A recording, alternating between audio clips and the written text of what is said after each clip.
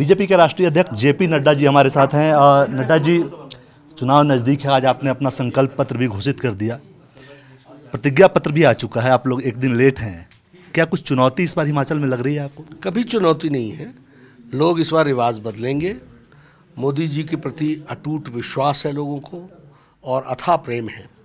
और साथ में उन्होंने आशीर्वाद जिस तरीके से हिमाचल की जनता को, इस प्रदेश को अपना समझ करके दिया है और जयराम जी ने उसको ज़मीन पर उतारने का प्रयास किया है।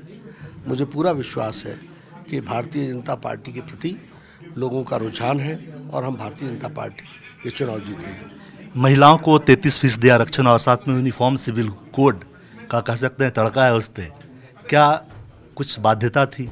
नहीं कोई बाध्यता नहीं थी। हमारी कमिटमेंट्स हैं हम इसी तरीके से आगे बढ़ते हैं और हम बढ़ रहे हैं। तो हाँ, महिलाओं का सशक्तिकरण करना एम्पावर करना ये हमारी इच्छा रही है इसको हमने पूरा किया है। और इसी तरीके से ये जो आपने यूनिफॉर्म सिविल कोड की बात कही है ये हम स्टेट्स में क्रमशः लागू कर ही रहे हैं। क्योंकि कांग्रेस की तरफ़ से कुछ वायदे किए गए हैं जो दूसरे राज्यों में उन्होंने किया है पूरा। आप लोग उस लाइन पे नहीं गए हैं लेकिन कमेटी समिति बनाई है उसके लिए। पेंशन के लिए उन्होंने जो आप लोगों ने समिति बनाई है वो कई राज्यों में लागू कर रहे हैं। तो वो एक चुनौती नहीं लगती सर? देखिए जो भारतीय जनता पार्टी सोचती है और करती है उसके प्रति लोगों की विश्वसनीयता है और इसी को हम लेकर के आगे चलते हैं। मेरा आखिरी सवाल हिमाचल और गुजरात दोनों के बारे में पूछ लेता हूँ आपके पास समय कम है। क्या उम्मीद है दोनों राज्यों को लेकर कितनी सीटों की उम्मीद? दोनों सीटें दोनों ही प्रदेश हम कंफर्टेबली जीत रहे हैं। आपको सीट्स के बारे में हम दो तीन दिन बाद क्योंकि यहाँ पर सीट्स का आकलन करते करते टाइम लगता है आपको बता देंगे। शुक्रिया।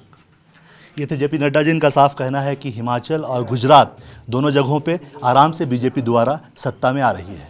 कमामन अजय के साथ कुमार गौरव, न्यूज़ 24 शिमला। नमस्कार, मैं हूँ मानक गुप्ता। अगर आपको हमारा ये वीडियो पसंद आया हो तो इसे लाइक और शेयर ज़रूर करें। और हाँ हमें सब्सक्राइब और फॉलो करना ना भूलें, ताकि आप देश और दुनिया की कोई खबर मिस ना करें। तो जुड़े रहिए हमारे साथ और देखते रहिए न्यूज़ 24